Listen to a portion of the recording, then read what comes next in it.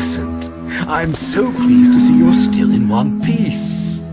You seem to be holding your own quite well against the, um, less attractive residents of this dreary place.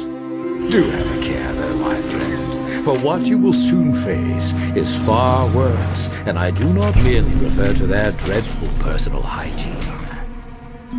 But most importantly, remember who the true enemy is.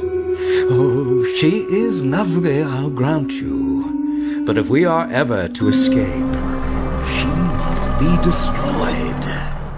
And if you grant an old man one request, be a dear and make her suffer terribly, won't you? Ah, well, maybe that was a bit harsh. After all, we're not the bad guys.